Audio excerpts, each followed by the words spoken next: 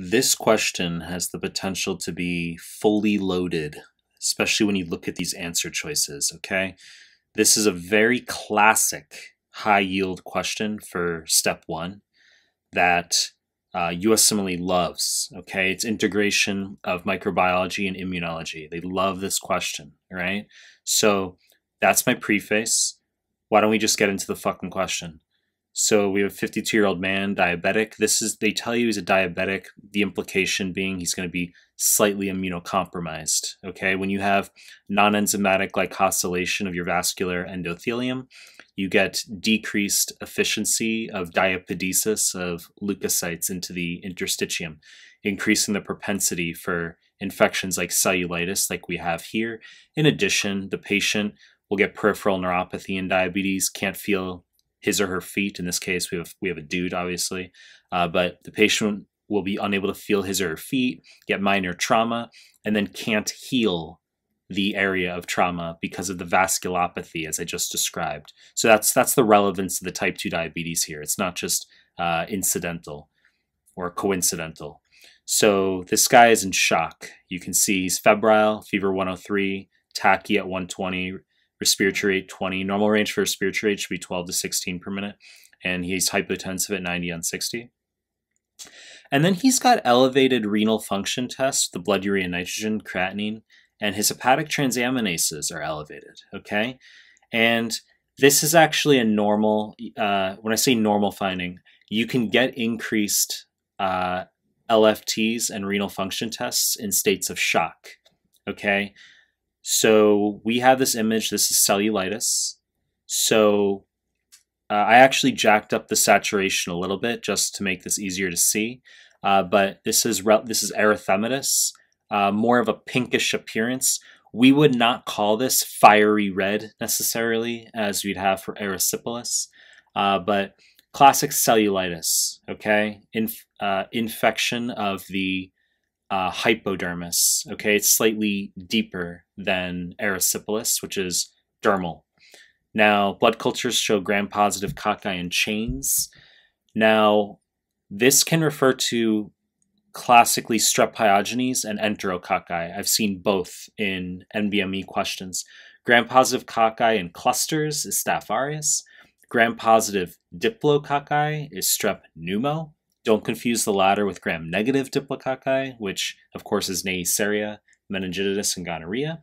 But gram-positive cocci in chains, that's going to be strep pyogenes or enterococcus. As I just said, I have seen both of those described as such in NBME questions.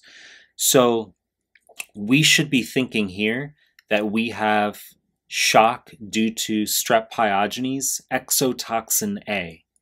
Okay, this is not going to be toxic shock syndrome, although Staph aureus eclipses strep pyogenes, which is group A strep, for cellulitis.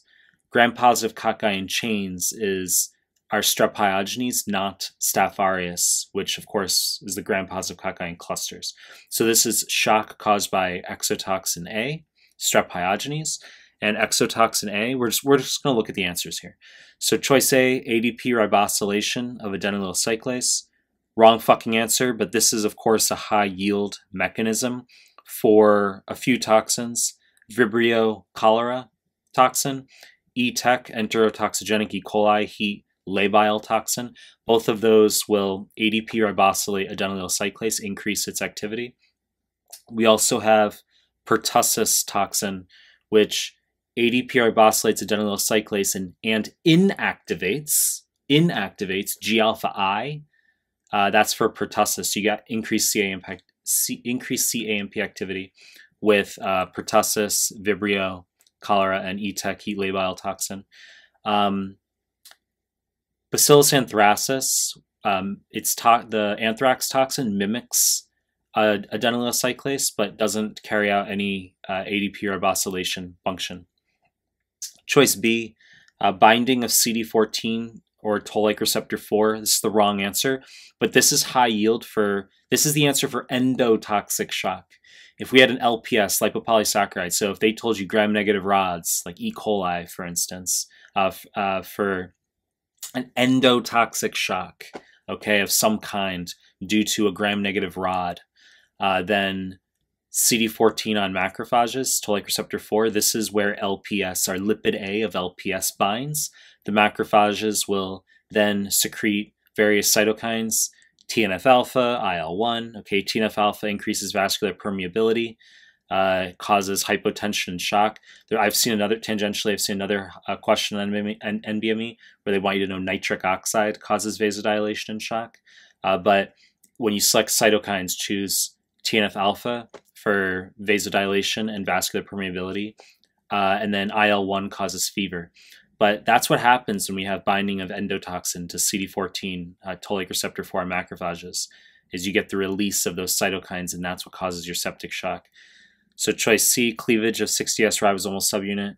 Wrong fucking answer. That refers to EHEC, uh, enterohemorrhagic E. coli, which produces Shiga-like toxin or uh, verotoxin, and also just, of course, Shigella producing Shiga toxin.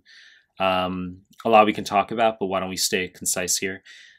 Choice D, inhibition of elongation factor 2, wrong answer. Okay, this refers to Corynebacterium diphtheriae and also Pseudomonas. Um, choice E, interaction with MHC2 and T cell receptor. This is the correct answer. And this is what exotoxin A of strep pyogenes does. It's a super antigen. Okay, so it bridges MHC2 and T cell receptor, and then we get release of cytokines from the macrophages and from the T cells. Okay, so this is the same mechanism for toxic shock syndrome. When we, for from Staph aureus, so we have Staph aureus, which is gonna when we have like cotton packing, tampons, or someone was in a car, a car accident, nasal packing in the nose goes into shock that's an all that's a, a, variation of this question, right? You get Staph aureus instead, but um, if we have cotton packing, then you're going to choose interaction with MHC2 and T cell receptors, same as this vignette, but we'd have gram-positive cocci in clusters. Okay, it's a different vignette. Um, but when you get this, strep pyogenes exotoxin A, uh, it's the same mechanism of action, okay, super antigen. So that's high yield for you. Don't confuse that with the binding of the CD14, as I mentioned before. That's LPS lipid A, okay? That's endotoxic shock.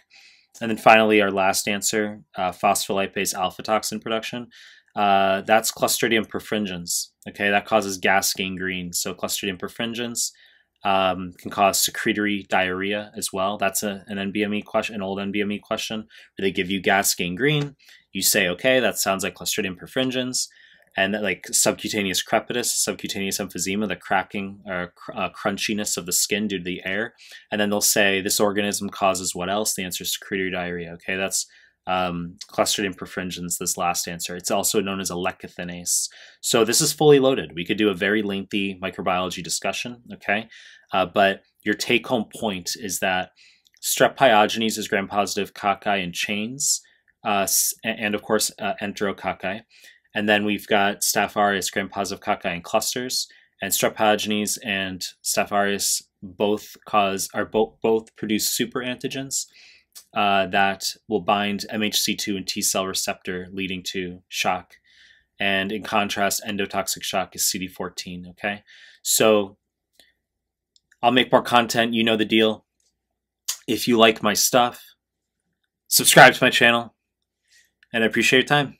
That's it.